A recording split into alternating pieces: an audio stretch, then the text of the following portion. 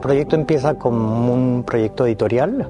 Mi idea era hacer una serie de entrevistas ligadas a la historia de la Facultad de Artes de la Pontificia Universidad Católica en Lima.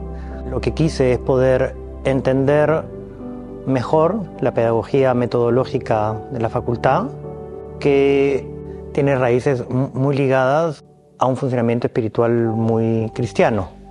Y lo que me pareció interesante era crear vasos comunicantes con el rol y el funcionamiento de la Inquisición durante el periodo colonial, en tanto otra plataforma de doctrina.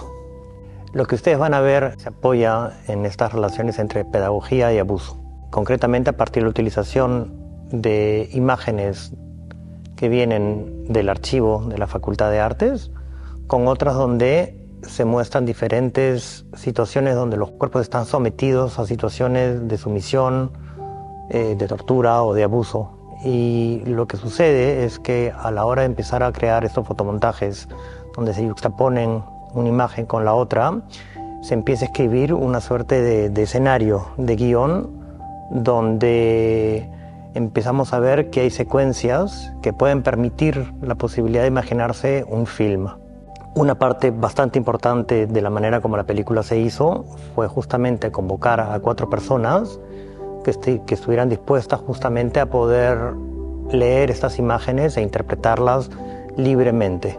Entonces, lo que ustedes ven en el film es en realidad una operación de interpretación, es decir, todas estas narraciones históricas que sostienen el film desde un inicio empiezan a distanciarse del, origen, de la fuente original, y empiezan a más bien convertirse en herramientas de interpretación.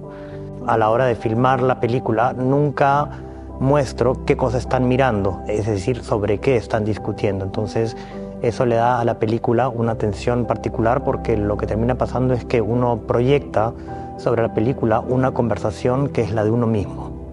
Lo que me parecía importante era también mostrar los momentos de restablecimiento de estas escenas. ¿no? Las escenas son eh, algo crípticas, algo herméticas, pero la manera como la gente, los actores, salen de las escenas era también fundamental para entender de que uno también tiene la idea, o tiene la posibilidad de restablecerse.